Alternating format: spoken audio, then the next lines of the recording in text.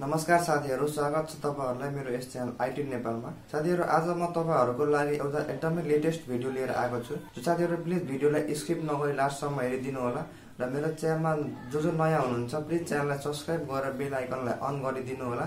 यस्तै latest video हेर्नको लागि। सो साथीहरू आजको हाम्रो टपिक के छ भने म प्राय सबैजना हाम्रो पसलमा सपमा आउँछ होइन? सबैको ल्यापटप के भएर बिग्रेर आउँछ कसैको चार्जर कसैको किबोर्ड बिग्रेर कसैको ब्याट्री कसैको स्क्रिन फुटेर आउँछ। सो त्यस्तो कसरी हुन्छ र त्योबाट हामीले बच्नको लागि के गर्नुपर्छ होइन? सो आज यो सबै कुराहरू म तपाईँहरूलाई भन्ने छु होइन? प्राय सबैजनाको ल्यापटप बिग्रेर आउँछ होइन? धेरैजना त जसोको ल्यापटप चाहिँ मतलब डेड कन्डिसनमा हुन्छ होइन? र यो किन हुन्छ? आज यो भिडियोमा म तपाईँहरूलाई पुरै भन्ने छु। अब तपाईँहरू कुरा गरौँ हामीले ल्यापटपको चार्जरको यदि तपाईँहरूले ल्यापटपको चार्जर स्पार्क हुने ठाउँमा चाहिँ नलगाउनु जुन कि एकदम हल्लोस् त्यस्तो ठाउँमा चाहिँ त्यस्तो एक्सटेन्सनमा चाहिँ नजोड्नुहोस् होइन? एकदम टाइटली होइन? जुन तपाईँको प्लगभित्र चाहिँ टाइट गरेर लगाउनु होला प्लग चाहिँ होइन? र तपाईँले प्लग लगाउनुभन्दा अगाडि होइन? ल्यापटपमा चार्जर नहाल्नु होला। पहिला चाहिँ प्लग लगाउनु होला होइन? त्यहाँ प्लगमा हाल्नु होला एक्सटेन्सनमा चाहिँ जुन तपाईँको पावर हुन्छ नि त्यो चाहिँ तपाईँले पहिला चाहिँ एक्सटेन्सनमा लगाउनु र त्यसपछि तपाईँले ल्यापटपमा जोड्नुहोस्। यस्तो गर्दाखेरि के हुन्छ भने नि स्पार्क भए पनि तपाईँको ल्यापटप वा ल्यापटपको चार्जरमा कुनै पनि असर हुँदैन र त्यसले गर्दाखेरि तपाईँको चार्जर बिग्रिँदैन। र चार्जर बिग्रिने कारण भनेको यही हो तपाईँको स्पार्क भएर जान्छ होइन। जुन तपाईँको झ्याझर हुन्छ नि करेन्ट जस्तो आउँछ नि यस्तो हाल्दाखेरि हो त्यतिखेर चाहिँ तपाईँको चार्जर चाहिँ मतलब क्र्यास भएर जान्छ बिग्रिन्छ। सो त्यस्तो गर्दा चाहिँ हाम्रो के हुन्छ भने ल्यापटपमा असर पर्छ। र तपाईँको त्यही स्पार्कले गर्दाखेरि डाइरेक्टली तपाईँले हाल्नुभयो भने बोर्डमा चाहिँ त्यसले गर्दाखेरि तपाईँको ल्यापटपको बोर्ड पनि सर्ट हुनसक्छ र अर्को कुरा तपाईँहरूको किबोर्ड कसरी बिग्रिन्छ? यदि तपाईँहरूले किबोर्डको जुन माथिबाट कभर हुन्छ नि त्यो लगाउनु भएको छ होइन? तपाईँले ठिक छ लगाउनुहोस् होइन केही छैन होइन त्यो लगाउने कुरा हो होइन। मतलब सेफ राख्न धुलो सुलो नपसोस् भनेर चाहिँ त्यसले त्यसलाई बनाएको हो होइन। सो त्यसलाई चाहिँ हामीले लगाउनुपर्छ तर के गर्नुपर्छ भने जतिखेर हामी युज गर्छौँ नि किबोर्डलाई हो त्यतिखेर चाहिँ त्यसलाई निकालिदिनुहोस्। किनभने त्यसमा पनि एयर छिर्नुपर्छ होइन। किन एयर गएन भने त्यो जुन भित्रको कार्बन हुन्छ नि त्यो किबोर्डको हो त्यो चाहिँ के हुन्छ भने तपाईँको जाम हुन्छ र जाम भएर तपाईँको किबोर्ड बिग्रिन्छ। र प्लस तपाईँले अर्को केबाट बताउनुहोस् भने तपाईँहरूले त्यहाँ धुलो मैलाहरू नछिर्न दिनुहोस्। कमिला समिला छिर्यो भने चाहिँ के हुन्छ भने तपाईँको किबोर्ड चाँडै बिग्रिन्छ आफै आफै थिचिने हुन्छ।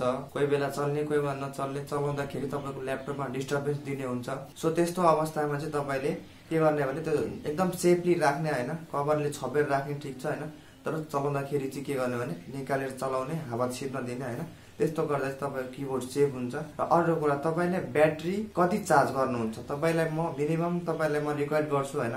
तपाईँले ल्यापटपको ब्याट्री भनेको एट्टीदेखि नाइन्टी पर्सेन्टसम्म चार्ज गर्नु होइन। त्यहाँदेखि ट्वेन्टी पर्सेन्टमा झरिसकेपछि तपाईँ चार्जमा लगाउनु। किनभने ठुला ठुला कम्पनीले मतलब माइक्रोसफ्ट जस्ता कम्पनीले सल्लाह दिएको छ कि तपाईँले एटीदेखि नाइन्टीसम्म चार्ज गर्नुहोस् ब्याट्रीलाई। किनभने त्यतिसम्म रिक्वायर्ड हो होइन? ब्याट्री पर्सेन्टेज चाहिँ त्यतिसम्म रिक्वायर्ड हो। सो त्योभन्दा धेरै चाहिँ नगर्नु होला हुन चाहिँ गर्दा हुन्छ केही फरक पर्दैन होइन?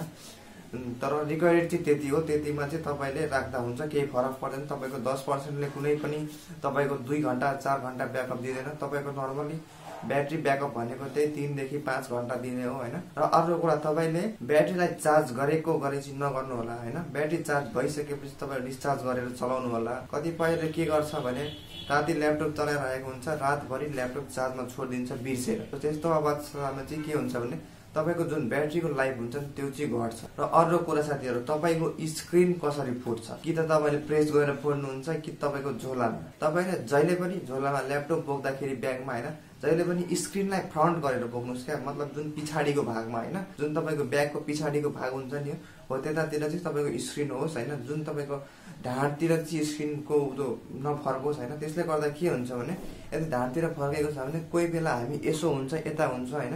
त्यसले गर्दा हाम्रो ब्याग पनि टाइट हुन्छ हामी लुज त बोकेको हुँदैन। त्यसले गर्दाखेरि के हुन्छ भने टाइटली भएर हाम्रो त्यो के हुन्छ थिचिन्छ। त्यो थिच्दाखेरि चाहिँ के हुन्छ तपाईँको स्क्रिन चाहिँ फुटेर जान्छ। र अर्को कुरा जुन तपाईँको हिन्स हुन्छ नि तलमाथि गर्ने ल्यापटपलाई तलमाथि गर्ने त्यो तपाईँको कतिको टाइट छ? यदि धेरै टाइट छ भने नजिकैको कम्प्युटर सर्भिस सेन्टरमा गएर होइन तपाईँले त्यहाँ गएर लुज गराउन सक्नुहुन्छ। तपाईँलाई धेरै पैसा लाग्दैन होइन? जस्ट उसले आफ्नो चार्ज मात्रै लिन्छ तपाईँको जुन किनभने तपाईँको त्यसमा केही पनि रिपेयर गर्ने हुँदैन होइन? जस्ट तपाईँको के हुन्छ भने लुज गरिदिने हो उसले।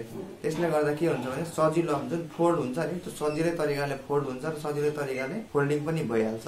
त्यसले गर्दाखेरि तपाईँको के हुन्छ भने हिन्स भाँच्दैन हिन्स भाँचेर भने राम्रोसँग हामीले ल्यापटप युज गर्न पायो। यदि धेरै टाइट छ भने चाहिँ अलिक चाँडो मतलब भाँच्ने फुट्ने डर हुन्छ क्या। त्यो साथीहरू यी यो यो सबै कुराहरू मैले तपाईँको ल्यापटपको सम्बन्धी भनेको ल्यापटप यो बिग्रिने भनेको तपाईँको यसरी नै हो होइन?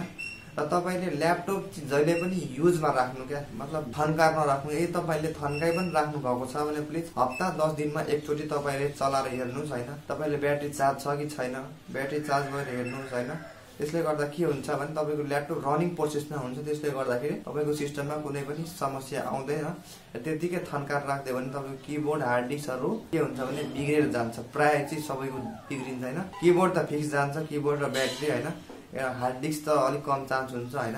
तपाईँले ब्याट्री चाहिँ तपाईँको के हुन्छ भने जिरो पर्सेन्टमा गयो भने तपाईँको ब्याट्री ल्यापटपको ब्याट्री भने त्यो तपाईँको के हुन्छ भने डेड कन्डिसनमा जान्छ। त्यो तपाईँको मोबाइल जस्तो मास्टर चार्जले उठाउने चाहिँ हुँदैन। साथीहरू मलाई विश्वास छ तपाईँहरूले सबै कुरा क्लियरली बुझिसक्नुभयो होला। सो प्लिज च्यानलमा जो जो नयाँ हुनुहुन्छ म फेरि भन्न चाहन्छु प्लिज च्यानललाई सब्सक्राइब गरेर बेल आइकनलाई अन गर्नु होला चाहिँ लेटेस्ट भिडियो हेर्नको लागि। सो जय नेपाल धन्यवाद।